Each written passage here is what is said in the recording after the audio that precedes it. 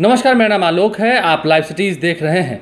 आज सात जून है, रविवार है, लेकिन आज सियासत वाली संडे सबको देखने को मिलेगी। हम ऐसा क्यों कर रहे हैं?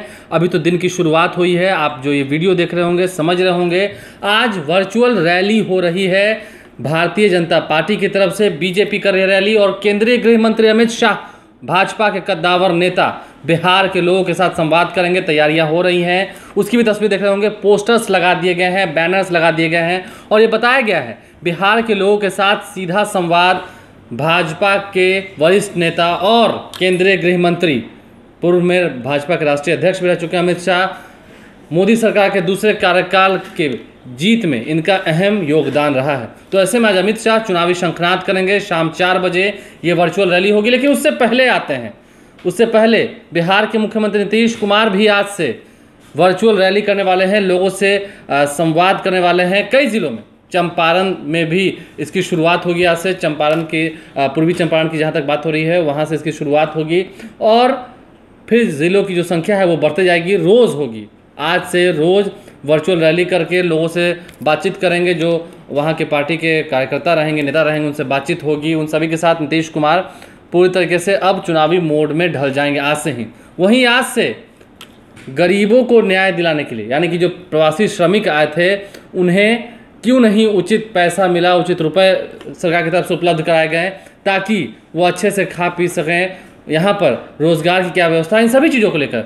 और उस पर से गरीबों को अनदेखा कर कर भाजपा वर्चुअल रैली कैसे कर सकती है? इस मुद्दे को लेकर के नेता प्रतिपक्ष तेजस्वी यादव भी आज से अटैकिंग मोड में दिखेंगे। 11 बजे ताल, थाली और ताली पीटने का ये जो कार्यक्रम है, वो पहले से सुनिश्चित है। नहीं तो कटोरा भी पीट सकते हैं, केले का पत्ता भी दिखा सकते हैं। लेकिन आपको ज़रूर सड़कों पर दिखना है, अपने घरों में दिखना है। यदि आपके आसपास कहीं सड़क है तो आप वहाँ सक दिख सकते हैं। घरों में ही दिखना है अपने पूरे परिवार के साथ। और फ़िज़िकल डिस्टेंसिंग के नियमों का पालन करना है। फिर आते हैं अब घूमकर जन अधिकार पार्टी के सुप्रीमो पप्पू यादव के पास। बिहार बचा लो, मौका है। बिहार को बचाने के लिए क्या उनका एजेंडा है? इस मुद्दे को लेकर के उनके पार्टी के तमाम नेता और कार्यकर्ता आज ग्यारह बजे सभी लोग फेसबुक लाइव आएँगे। सोचिए, हज़ारों की संख्या में लोग ग्यारह बजे फेसबुक लाइव आएँगे।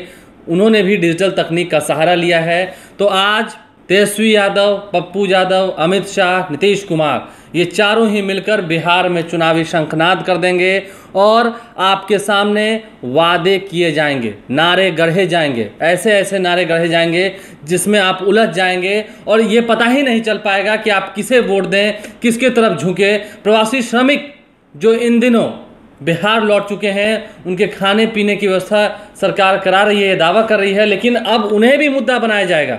आज से।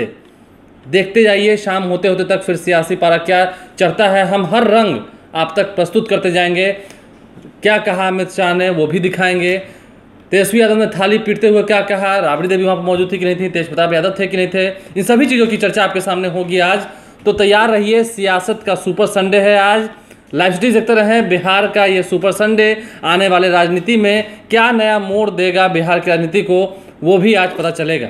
हमारे चैनल को सब्सक्राइब कर लें साथ साथ फेसबुक पेज भी लाइक करें। इसके अलावा ट्विटर हैंडल पर लाइव स्टडीज़ को ज़रूर फॉलो करें और बने रहें हमारे साथ। धन्यवाद।